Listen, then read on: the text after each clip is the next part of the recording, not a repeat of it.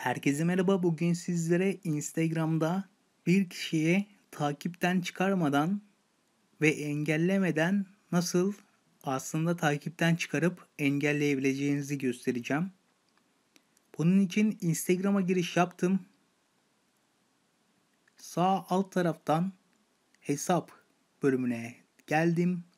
Hesap bölümünden sağ üst taraftaki 3 çizgiye yani ızgaraya tıkladım. Buradan ayarlar bölümüne geliyorum. Ayarlar bölümünden gizlilik bölümüne tıkladım. Gizlilik bölümünde en alta indiğimde bağlantılar bölümünün altında bulunan kısıtlı hesaplar bölümüne tıkladım. Kısıtlı hesaplar tanıdığın kişileri engellemek veya takip etmeyi bırakmak zorunda kalmadan kendisini kendini istenmeyen etkileşimlerden koru diyor.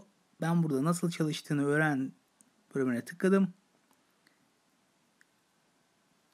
Kendisini engellemek veya takibi bırakmak zorunda kalmadan bir kişiden gelecek etkileşimleri geçici olarak sınırla. Kişiyi kısıtlarsan bunu kendisine söylemeyiz.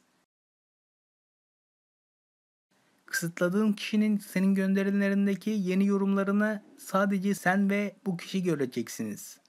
Yorumları tek tek onaylayarak herkese görünür olmasını sağlayabilirsin. Kişinin sohbeti meşaz istekleri bölümüne taşınacak. Böylece çevrim içi olduğunda veya mesajlarını okuduğunda kişi bunu görmeyecek. Kısıtlı hesaplar bölümüne devam edelim.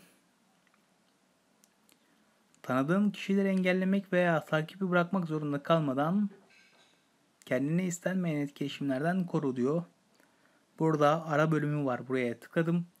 Buraya kısıtlar listesine eklemek istediğiniz kişinin adını yazarak o kişinin üzerine tıklayıp onu kısıtlar listesine ekleyebilirsiniz.